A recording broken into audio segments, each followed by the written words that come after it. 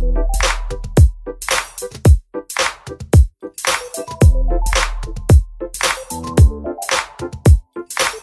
everyone!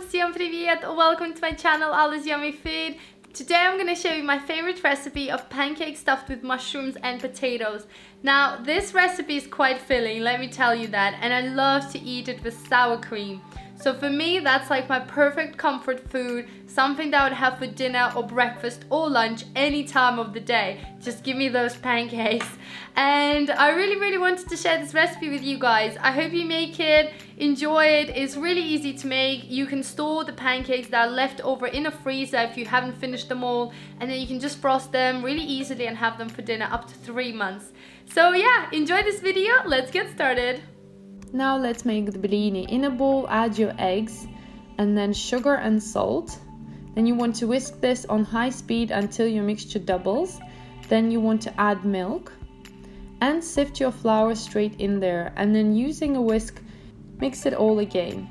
Then add your oil and mix everything one more time and your mixture is ready to go. Make sure your pan is nice and hot and you want to add your first ladle on top and then swirl it around and cook it for a few minutes on each side. Your first pancake might not be good, but just keep going and then you will have a stack of delicious blinchiki. Guys and girls, I have my recipe on my website at allasyummyfood.com. You'll find full ingredients and also directions on how to make this. And also you'll be able to find loads of other recipes that I do for my channel. Uh, just click through, click on the picture and you'll be able to see the whole video with the directions and the full recipe in English and Russian languages. Now we're gonna make our potato fillings. So take your potatoes, peel them off, take off all the skin, and once they're ready, we're gonna cut them into nice small pieces, sort of like in quarters. So cut in half and then in half again. So these should be good. You want to then place them into a pot of cold water and we're going to boil them for about 25 minutes or so. It might take less depending on how quickly they boil. Once they are boiled and ready, you want to mash them up with a potato masher and then add some seasoning, salt and pepper, and a bit of butter. Mix everything together and it's done.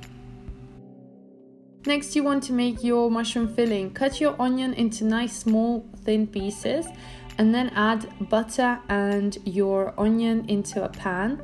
We're gonna fry this until it's nice and golden and caramelized. Then you want to add your mushrooms and mix everything together and cook it for about 5 to 10 minutes. Add salt and pepper and some garlic powder if you want and mix everything until it's done. Take each pancake, place it onto your board and you want to add 2 tablespoons of filling, so 1 tablespoon of each thing. So add your potato together, squash it down and then you want to roll it up from the bottom and kind of lock the filling inside and then take it from the sides and make a nice roll up. So just hold the filling, press down and keep rolling until you get a nice roll, just like that. So we're going to repeat the process with the rest of the pancakes. Feel free to add less or more potato or filling as you like, but I do find that this combination works the best. And once you have done all your pancakes, uh, you can either store them in a freezer for later or if you're going to eat them straight away, then I suggest you preheat your pan and put some butter and oil inside.